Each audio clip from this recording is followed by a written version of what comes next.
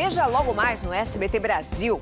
A defesa tenta evitar a extradição de ex-guerrilheiro chileno condenado por sequestro. Motorista atropela moradores de rua em São Paulo e foge sem prestar socorro. Treinador de escola de futebol é preso em Belo Horizonte acusado de abusar dos alunos. Vídeo mostra príncipe britânico em mansão de bilionário acusado de exploração sexual. E veja por que o dia virou noite no meio da tarde na Grande São Paulo.